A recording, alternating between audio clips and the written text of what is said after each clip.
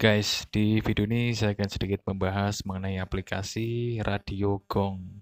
Radionya kebumen gombong, sing gawe ati bombong.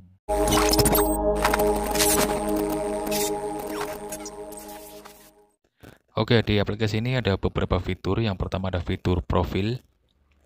Profil Gong Radio, nama perusahaan, nama udara, alamat kantor, email, telepon, nomor WA, website. Oke, fitur yang kedua ada fitur iklan pasang iklan Gong Radio. Di sini kalian bisa pasang iklan, tinggal kalian pilih mau uh, paket 1, paket 2, paket 3 dan paket 4. Tinggal kalian klik logo telepon yang ada di pojok kanan atas ini. Kemudian fitur yang ketiga ada fitur acara. Gong Radio acara harian jam 5.00 sampai 5.15 acara olah kalbu siraman rohani Islam.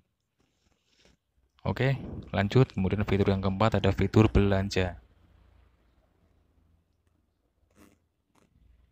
Kategori produk ada bahan bangunan, gadget, handphone, kecantikan, elektronik, jasa. Kita coba klik bahan bangunan. Nah, ada semen gresik, toko bangunan jaya. Kita bisa klik semen gresik untuk melihat informasi detailnya. Harga 37.000. Kalau kalian mau beli, tinggal klik logo keranjang yang ini. Oke lanjut fitur yang ke empat eh yang kelima ada fitur wisata.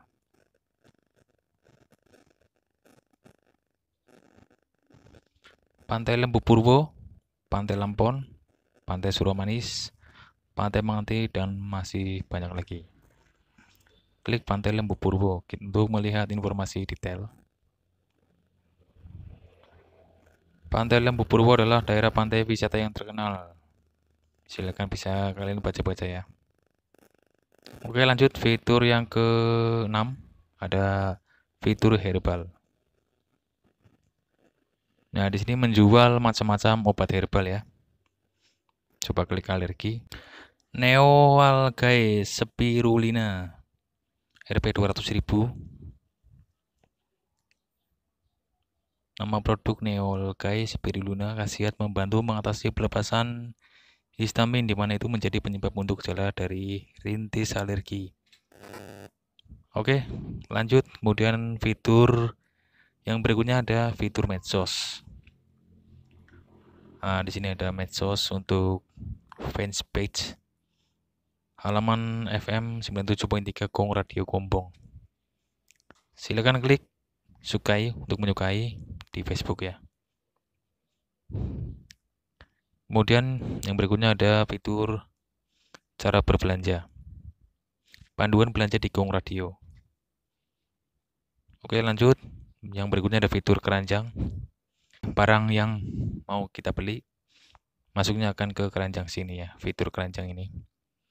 Kemudian yang berikutnya ada hotline WhatsApp dan fitur share app.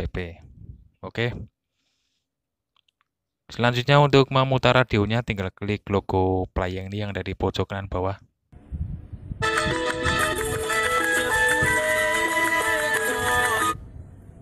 Jadi kita bisa memutar radio tanpa kabel atau headset ya.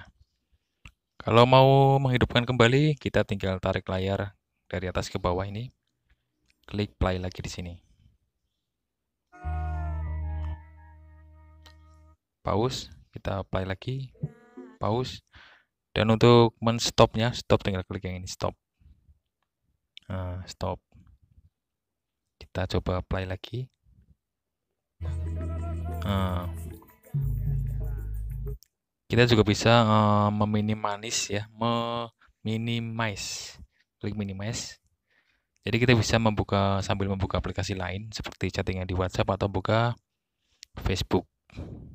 Oke? okay nanti radionya akan tetap uh, memutar ya.